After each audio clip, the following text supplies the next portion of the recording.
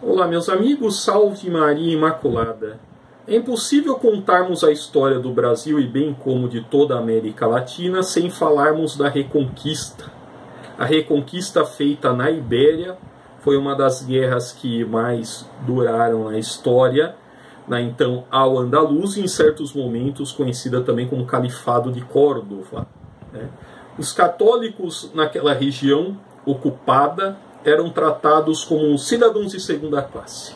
Tinham que pagar mais impostos por serem católicos e também, claro, eram colocados é, em situações muito complicadas por serem católicos. Basta ver aqui a quantidade de histórias. Para vocês terem uma ideia, os visigodos que ocupavam parte da Península Ibérica, com a chegada dos muros, é, foram obrigados a se abrigar para o norte, né?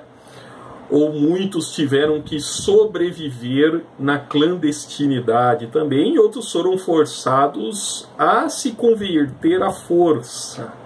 Né? Existem muitas histórias mostrando isso. Né?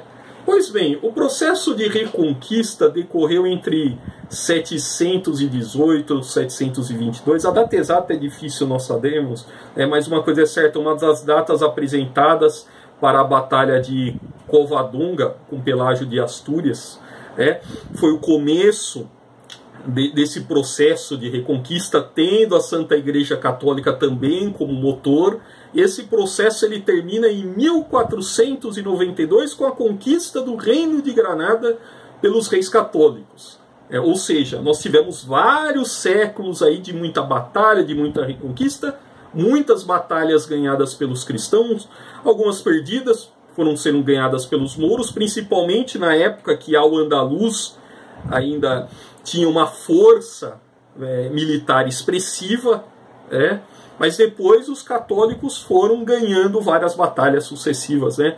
principalmente depois da chegada de Sancho II. Né? No começo, os católicos vieram do norte.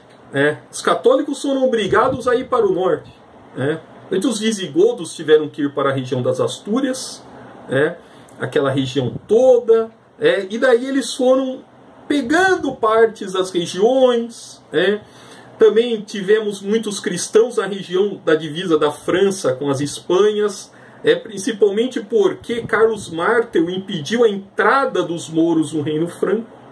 É, e eles acabaram ficando na península e muitos peninsulares ibéricos, nós vamos colocar assim, até eram condes e eram até alguns eram vassalos dos reis francos, principalmente na questão do Império Carolíngio. Né? da dinastia carolíngia. É para vocês terem uma ideia como que era aquela região. Né? Os cristãos ficavam com um pedacinho do norte e outra parte era ainda dos mouros. Né? E, e, claro, eles foram descendo, eles foram reconquistando toda a península. Né? No começo, os católicos vieram da região do norte, né?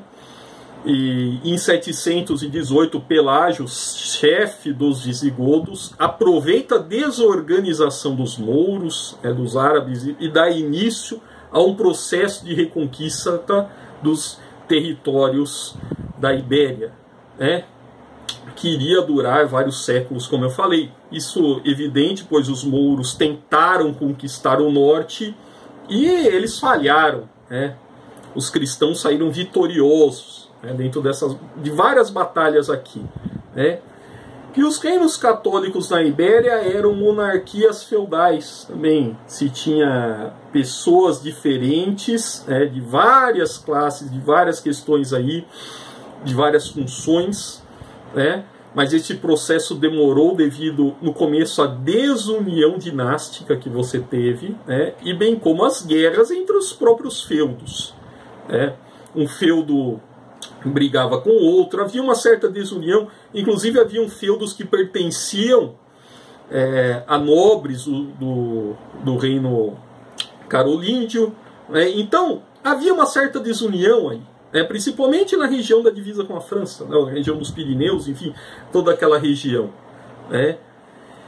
E, enfim, durante esta fase, é, também se dá início ao nascimento do Reino de Portugal em Guimarães, né, em Guimarães. Anteriormente, até aquela região era chamada de Condado Portucalense. Né, e também diversos reinos na península, como o Reino dos Algarves, o Reino de Leão. Em 1040 nasce Sancho II, é, Sancho II de Castilha, rei de Castilha, da Galícia e de Leão, começa a se unificar aquela região. E quando as cruzadas foram instituídas pelo Papa Urbano II no Concílio de Clermont, né, os reinos católicos ibéricos já haviam conquistado mais da metade de toda a península. Né? Os povos peninsulares, já, uma parte já estavam é, sob o domínio dos cristãos. Né? E nesse tempo ocorreu a Batalha do Cerco a Lisboa pelo rei Dom Afonso Henriques, que após libertar Santarém, é, partiu para o sul, para Lisboa, aonde recebeu ajuda de cruzados de outras localidades, por exemplo, da Inglaterra, que estavam a caminho da Terra Santa. É. Após muitas batalhas, o território católico de Portugal, Castilha, Navarra e Aragão foram libertados e, no caso, depois de algum tempo, Granada também foi reconquistada pelos reis católicos. Né? Aqui neste vídeo eu tracei alguns fatos históricos da Reconquista. Claro, ocorreram muitos outros acontecimentos, mais e mais batalhas. É impossível você colocar aqui tudo o que aconteceu na Reconquista em um vídeo de 10 minutos, é muito impossível. É, a Reconquista tem uma história muito rica, pois é o nascimento de dois reinos católicos, de Portugal e das Espanhas. É. Do fim ao cabo, é impossível imaginar o nascimento da América Latina, falar de América Portuguesa, de América Espanhola, é, falar de Brasil, falar aqui dos nossos vizinhos, é, sem falarmos da importância da história da Reconquista. É, através da Reconquista que os reis católicos das Espanhas puderam ter autonomia territorial, tendo a Santa Igreja Católica também como motor desse período, né? havendo inclusive uma união é, do poder espiritual com o poder temporal, para e passo. É como nós vimos essa união nas nossas mini aulas sobre a Idade Média, nós estamos assistindo. Na França também tivemos essa união na Ibéria, também forte, com laços marcantes, né, com, com padril, etc. Para e passo, para e passo, né, passando também esses reis, passando a exercer seu poder de moderação, e cada região tendo as suas cartas florais, né, os seus fueros, né, e também, claro, depois de um tempo puderam financiar viagens como a de Colombo para encontrar novas rotas, e os, os espanhóis também puderam financiar Cortés, Pizarro, outros conquistadores. Né? E também, através da Reconquista, Dom Manuel pôde financiar as viagens de Vasco da Gama, Pedro Álvares Cabral, para as Índias, né? também para encontrar novas rotas. Né?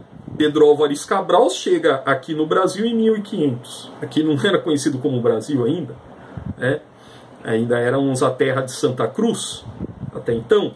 É, se não tivesse existido Portugal, se a Santa Igreja Católica não fosse o motor dessa reconquista também, com certeza a história até agora seria totalmente diferente. Aí temos aí que temos muitas pessoas também que ignoram a história da Reconquista. Né? É impossível ignorar a história da Reconquista, gente, pois através dela nasceram dois países que originaram vários outros. Né? Nasceu Portugal e nasceu as Espanhas. Vamos às Espanhas porque são várias regiões diferentes aqui. Né? E também os vices-reinos das Espanhas, bem como atualmente o Brasil. Né?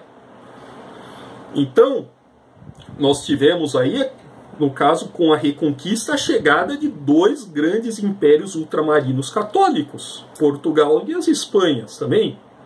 Né? Então é impossível as pessoas ignorarem a Reconquista. É impossível. Mas infelizmente temos hoje é, uma história que vai sendo mal contada, como se o país tivesse surgido só de, eh, de 1500 para frente. Não, a gente tem que analisar os fatos que fizeram surgir, por exemplo, Portugal. Nós temos que aprender a história por completo, gente. É, porque sem a reconquista os portugueses não teriam chegado a cá.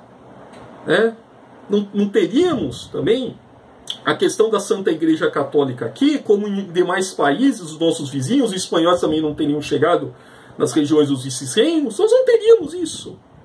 Nós não teríamos no, no, no vice-reino da Nova Espanha, por exemplo, a primeira Universidade das Américas, atualmente no México. Né? Então, é impossível ignorarmos isso, é ignorar a história, ignorar a riqueza histórica da Santa Igreja Católica, né? de tudo isso daí que nós assistimos, né? a história ibérica, é, a história portuguesa, a história da hispanidade, enfim, é impossível ignorar. Né?